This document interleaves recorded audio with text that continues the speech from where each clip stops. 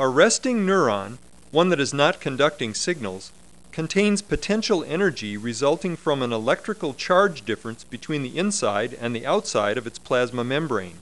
The cytoplasm just inside the membrane is negative in charge, and the fluid just outside the membrane is positive. The membrane is said to be polarized.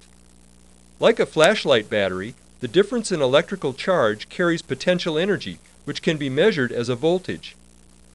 The oscilloscope shows this charge difference, called the resting potential, in millivolts. A neuron has a resting potential of about minus 70 millivolts. What causes the resting potential? The plasma membrane of the neuron keeps large negatively charged molecules such as proteins inside the cell. Pumps and channels in the membrane regulate the flow of positively charged sodium and potassium ions. The cell maintains a higher concentration of sodium ions outside the neuron membrane than inside, and a higher concentration of potassium ions inside the cell than outside. Sodium channels allow very little sodium to diffuse into the cell, but potassium ions can flow freely out of the cell, adding to the positive charge outside.